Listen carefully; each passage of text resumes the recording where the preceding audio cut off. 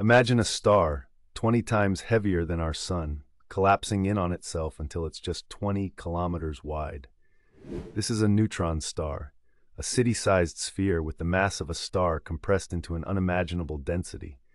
Now picture this star spinning hundreds of times per second, sending out beams of radio waves like a cosmic lighthouse sweeping across the universe. These are pulsars, celestial clocks that keep time with astonishing precision.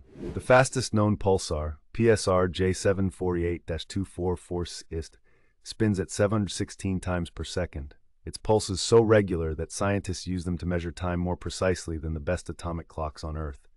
Each pulse travels across vast cosmic distances, cutting through space for thousands of light years, never missing a single beat. Such extraordinary precision is no accident. It reveals a universe governed by perfect order and balance. The most extreme objects obey laws set with flawless exactness, reflecting the mercy and magnificence of Allah, who designed every atom, every orbit, and every moment. When we witness the cosmic symphony of pulsars, we are compelled to say, Subhanallah. The universe is not random chaos, but a masterpiece of divine timing and harmony.